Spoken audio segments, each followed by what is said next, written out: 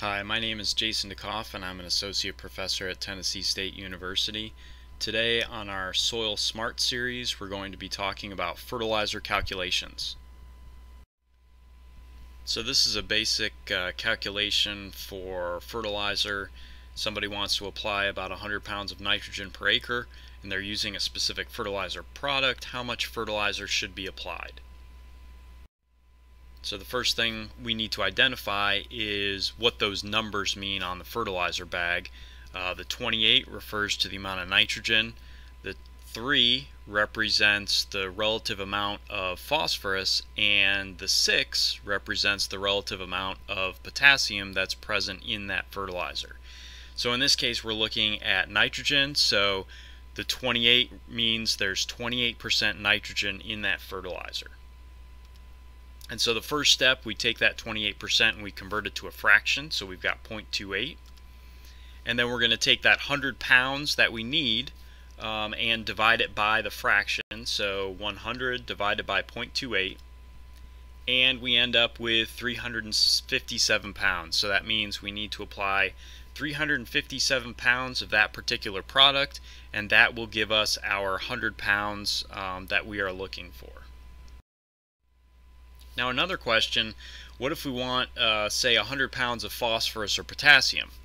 Now, if that were the case, you'd probably want to use a different product than the one we're using because they, it has very low amounts of, of both. But we'll go ahead and, and use this as an example for, um, for the remaining um, two fertilizers, phosphorus and potassium. Now with the nitrogen, it was nice because the 28 that was present in the value represented directly represented 28% nitrogen. Now for phosphorus, the 3% that's shown there actually represents the percentage of P2O5. So it's not percent phosphorus, it's percent P2O5. And then also the same thing with potassium, that 6% that we see doesn't represent percent potassium, but it, it represents percent K2O. And so one of the things we have to do, we basically have to go through an extra step of calculation um, to be able to get to how much phosphorus is actually in the product.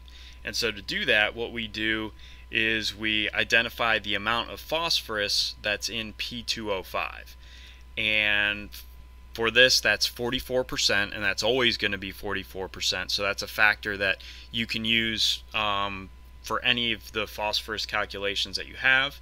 And then for potassium, it, there's 83% potassium in K2O. And so we'll be using these factors you'll see on the next few slides for calculating how much we need to apply.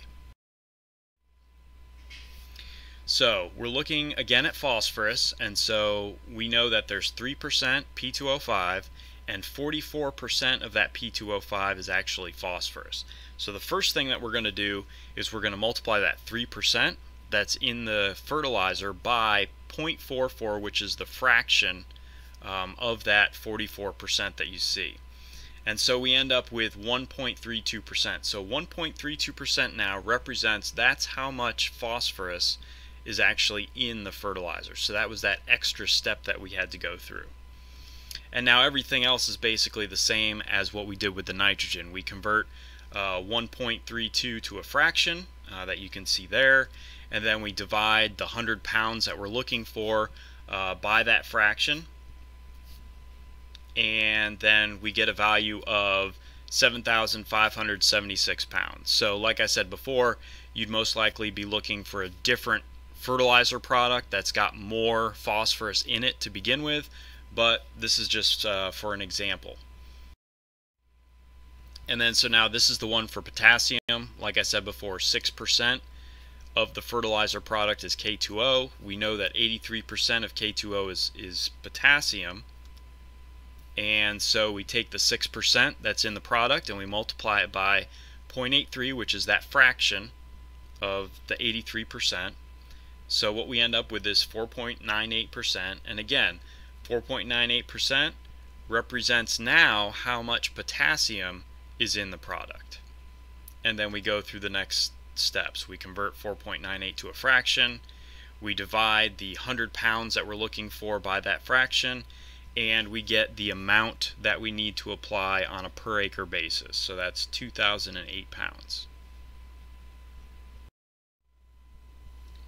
So that wraps things up for our fertilizer calculations. If you've got any further questions, please don't hesitate to contact me. My email and my Twitter account are there on this slide.